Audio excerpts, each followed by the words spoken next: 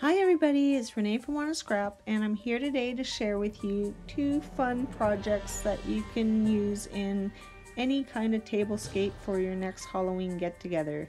These items were purchased from the Dollar Tree, the skeleton and the hand and the bowl.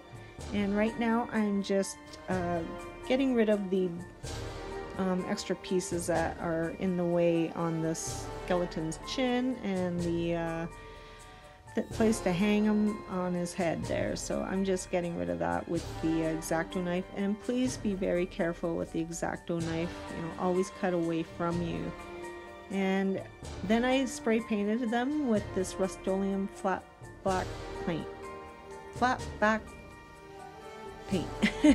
Say that three times and for the hand, I'm just touching it up with some silver paint and all the joints and the crevices and I blot it all around with a damp paper towel to uh, give it a more aged look and I really love how it turned out.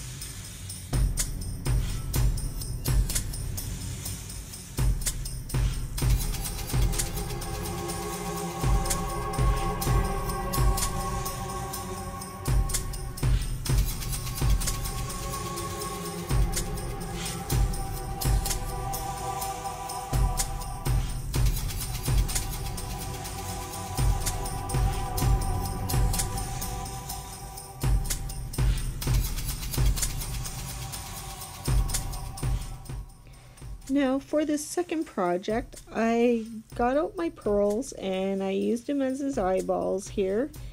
And I also used a white jot paint pen uh, that I had purchased from the Dollar Tree also.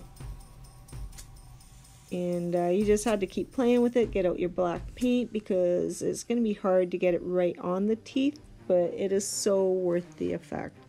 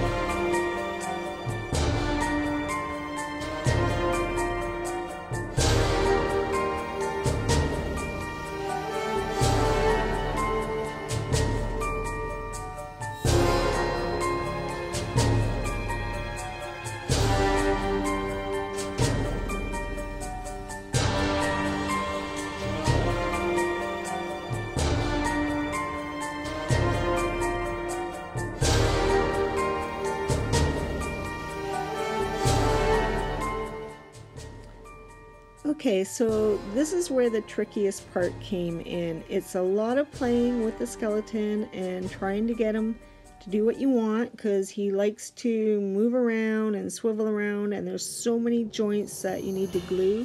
I did use the E6000 along with the help of a glue gun and as I said, just be patient. It, it does take time to get this all together and some drying time. I did give it till the next day for a lot of these 6000 to uh, settle in and you know because a glue gun sometimes it just stays hot and the more you play with it the more it loosens up. So just be patient with it. It, it is so worth it when you're finished